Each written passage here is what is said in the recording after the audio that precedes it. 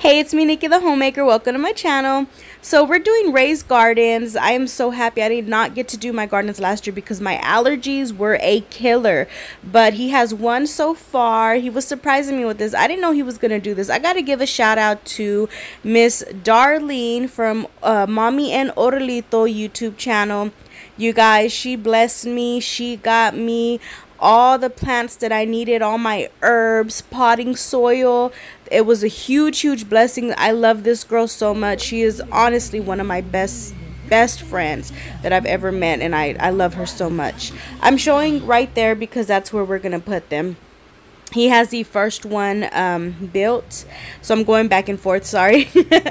But yes miss darlene made my dream come true for this year. I didn't know if i was going to be able to do the gardening. And out of nowhere she blessed me and i was like what? And i was able to buy everything. That's because she didn't even know i wanted to do this. She just blessed me out of her kind kind heart. So thank you darlene. I love you so much girl. You know i love you so much. You and orlito are everything to me um, oh, and right here, let me explain. My husband got this cloth. They said to put this um, for raised gardens, and um, we usually do this when we're doing like beds. I even put this under whenever we were doing um, my fire pit area with the rocks, but the I still find that the grass grows through it. But anyways, we just did what the people at um, Home Depot told us to do. So we bought that for the raised gardens and also a specific potting soil for raised gardens. Um, once he finished, he drilled some holes so that we could have uh, drainage for the plants, of course. And these are two by five or sixes. You need to have at least two to three feet um, separate from your plants. They need to be two to three feet away from each other. I've done it one foot to two feet. They still grow. It's just that they can grow so much bigger. Um, we didn't want to spend too much money on wood because wood is expensive, so we just did two by five.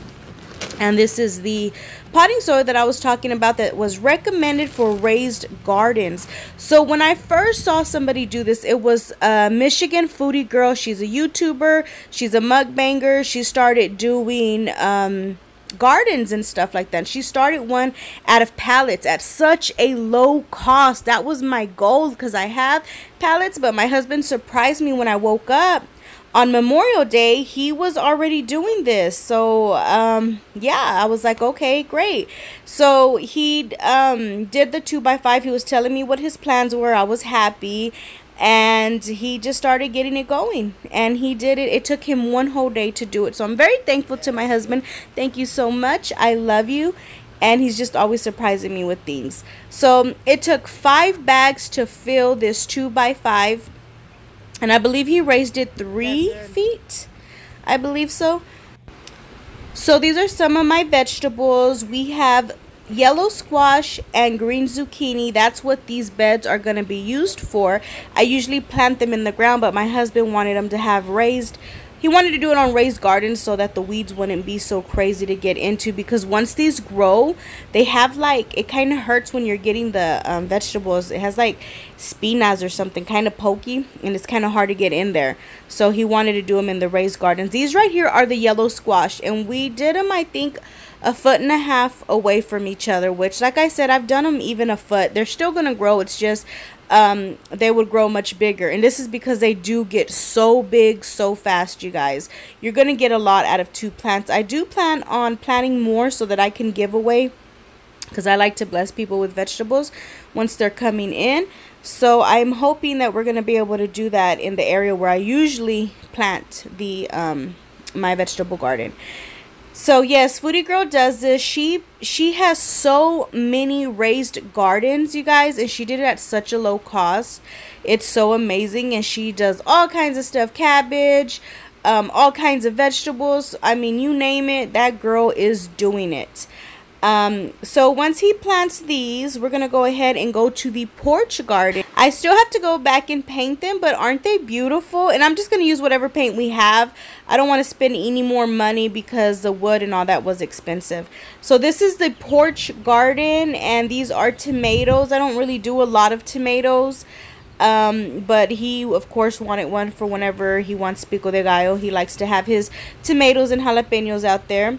So because of Darlene. Thank you, my girl. Um, I was able to get tomatoes, jalapenos, cayenne, um, what else, what else?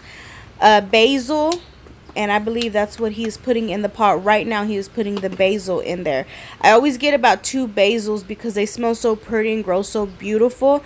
And I like to add these to um, salads. And you know, basil leaves are really good for inflammation.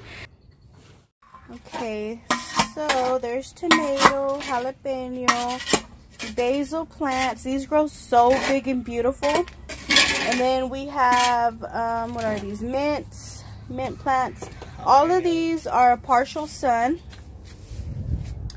We have peas right here, but these aren't going to stay here. They're just until, um, the meantime, until my husband builds what he's going to build for them. And then we have the cayenne pepper chiles. And then over here we have cucumbers that he's going to build a trellis for as well. So they're just going to be here in the meantime. The basil and the mint smells so good. And we still got to clean up the porch and stuff, but looks good. These are the baby chicks. Hey! We like literally just got them. So these are the chicks. They were so little. Look, they're growing feathers now. They're growing their little tail feathers. Come here. Come here Monday, Tuesday, Wednesday.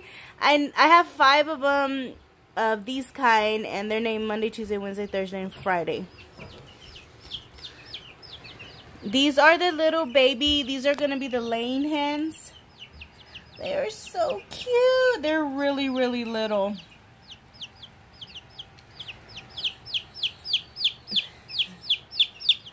Wendy's like, what are these?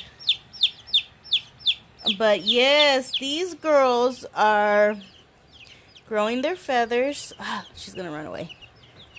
Ah. Show that they're growing their feathers, Helen.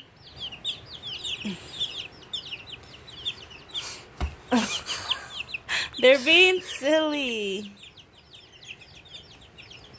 Okay, open it up. They're growing their feathers already. Look at that. Woo! Beautiful. And they're getting their little tail feather too. They grew so quick. Oh my gosh, that was beautiful. Look at the little babies. So for the most part, they do get along. Um, it's just the big ones, I guess they have like longer legs and they step on them sometimes, but I don't think they're trying to be mean to them. But anyways, thanks for watching this video and I will be showing you the progression with the garden and the chickens as the weeks come. Have a blessed one.